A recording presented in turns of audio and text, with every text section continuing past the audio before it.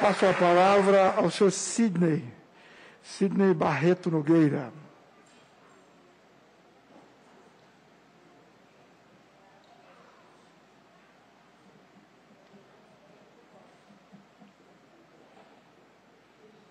Vou pedir, vou pedir licença para tirar a máscara. Eu tenho uma barba bem cuidada, diga-se de passagem, acho que ela merece.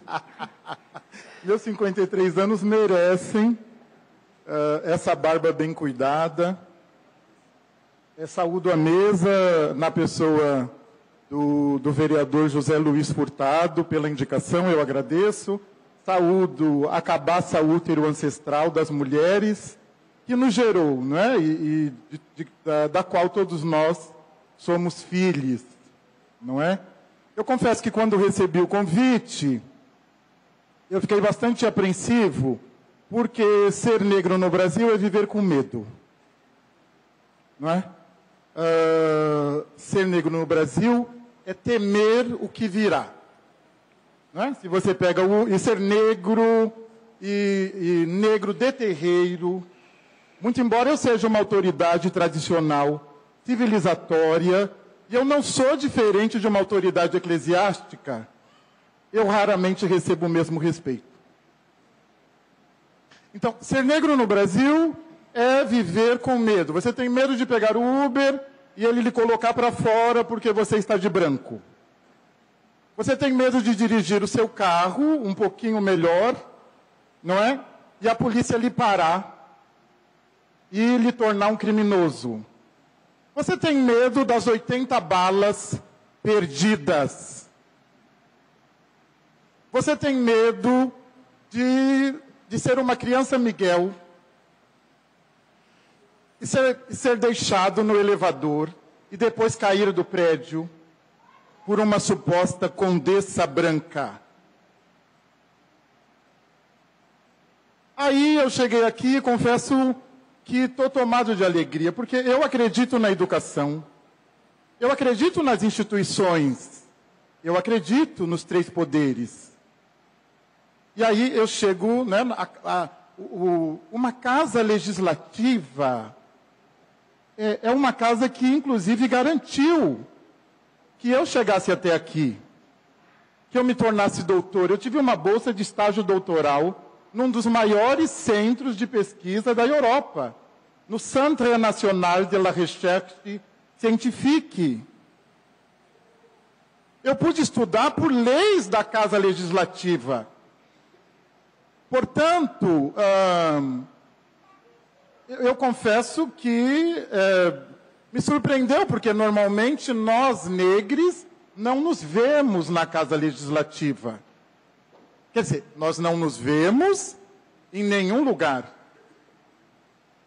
E aí eu chego aqui, eu vejo, eu, eu pesquisei também, né? Quer dizer, nós temos um, uma casa legislativa negra, uma casa com pouca, mas uma certa representatividade feminina. Isso, isso é fundamental, não é? Quer dizer, é, a, casa legislativa, não é? É a casa também de tensões, Todavia, tensões são feitas pela diversidade e cabe ao Poder Legislativo garantir a democracia do país.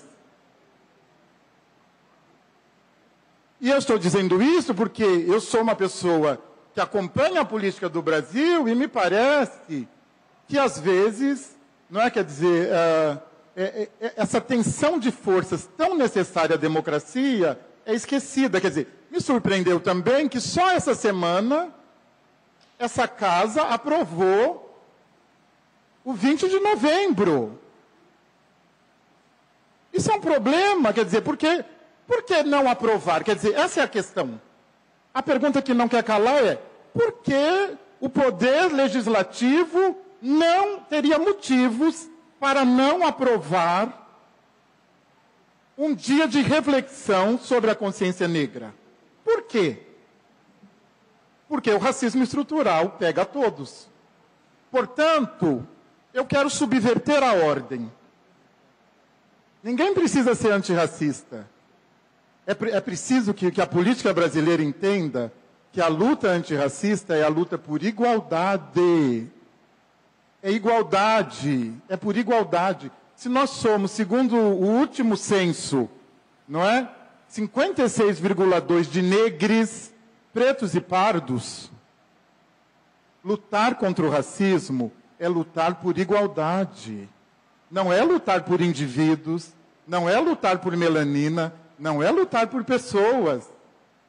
É lutar por um país melhor, um país com menos violência, com menos encarceramento negro, com menos perseguição a negros. Então, eu quero, eu quero reiterar que, muito embora a luta antirracista, às vezes, pareça ser por indivíduos, ela não é. Ela é pelo nosso país. Axé. Muito obrigado, Sr. Sidney.